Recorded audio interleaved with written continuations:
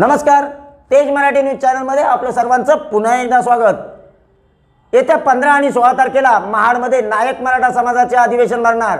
समस्त नायक मराठा समाज बांधवांनी या अधिवेशनास उपस्थित राहण्याचे आमदार भरतशेठ गोगावले यांचे आव्हान. तर नायक मराठा समाजाची इमारत येत्या दोन वर्षात पूर्ण होईल. आमदार भरतशेठ गोगावले यांनी व्यक्त केला विश्वास.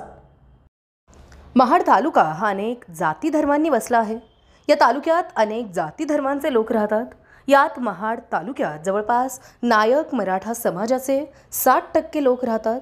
मात्र या समाजाचे सार्वजनिक असे कोणतेही समाज मंदिर अस्तित्वात नसले तरी या समाजाने आपल्या समाजासाठी भव्य दिव्य अशी इमारत बांधण्याचं काम हाती घेतले आहे.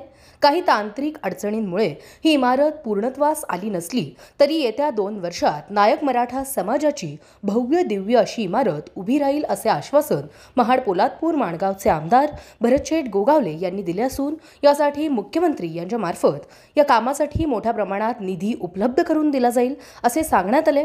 तर येत्या पंधरा आणि सोळा एप्रिल रोजी महाडमध्ये नायक मराठा समाजाचे अधिवेशन भरणार असून यात सर्वच नायक मराठा समाजाच्या महिला पुरुषांनी सहभागी व्हावे असे आवाहनही यावेळी करण्यात आले.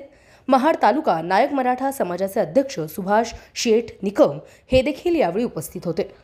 Bureau report Tej Marathi news Mahad Raigad. नायक मराठा समाजाची जी काय इमारत आहे वास्तू आहे ती कामाला सुरुवात झालेली आहे. मागच्या करोना काळामध्ये ते काम थांबलेलं होतं. आता ते पुन्हा एकदा आम्ही सुरुवात करतो आहे आमची पंधरा सोळा तारखेला आमचं अधिवेशन झालं का आम्ही परत त्या कामाला सुरुवात करतो एक स्लॅब पूर्ण झालेला आहे. खाली तळापासून ग्राउंडचं सगळं काम होऊन एक स्लॅब झालं आहे बाजूचा स्लॅब आता आम्ही भरतो आहे आणि मग वरच्या कामाला आम्ही सुरुवात करतो आहे येत्या दोन वर्षामध्ये ही वास्तू आम्ही पूर्ण करू.